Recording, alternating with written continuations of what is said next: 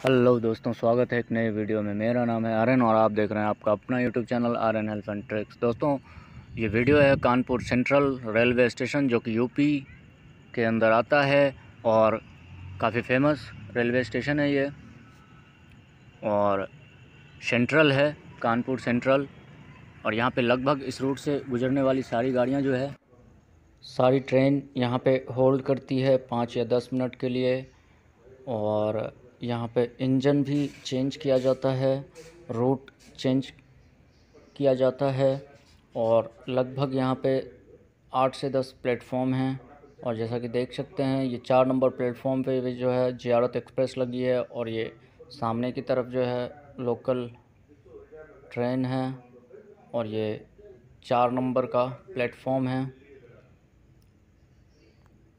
और आगे की तरफ़ देख सकते हैं, जैसा कि यहाँ पे भी जो है अभी काम चल रहा है प्लेटफॉर्म का। और ये देखिए, कानपुर सेंट्रल और तो यहाँ पे काफ़ी ट्रेनें जो हैं वो बनती भी हैं, निकलती भी हैं यहाँ से बन के। और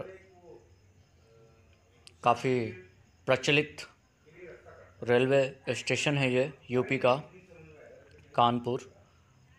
और ये सीढ़ी जो कि फ्लाईओवर आप इससे एक स्टेशन मतलब प्लेटफॉर्म से दूसरे प्लेटफॉर्म पे जा सकते हैं।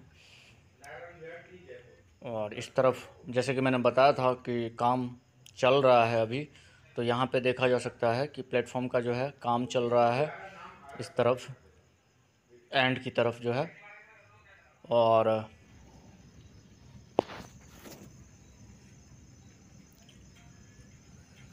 और ये स्टेशन को और काफ़ी लंबा बनाया जा रहा है, जैसा कि देख सकते हैं स्क्रीन में। और यहाँ पे जियारत एक्सप्रेस लगी है, जो कि राजेंद्र नगर टर्मिनल, पटना, बिहार से चल के अजमेर, राजस्थान के लिए जाती है। और यहाँ पे इसका दस मिनट का होल्ड है। और ये आगे की तरफ़ स्टेशन के बाहर का नज़ारा है, देखा जा सकता है, देख सकते हैं। कानपुर सेंट्रल, यूपी का। और काफ़ी सारे यहाँ पे रूट बने हुए हैं, जो कि यहाँ से अलग अलग जगहों के लिए अलग अलग राज्यों के लिए जो है गाड़ियाँ निकलती है। और ये ऊपर फ्लाईओवर है, जिससे कानपुर सिटी की तरफ़ जाया जाता है और नीचे बाईपास से ट्रेन गुजरती है।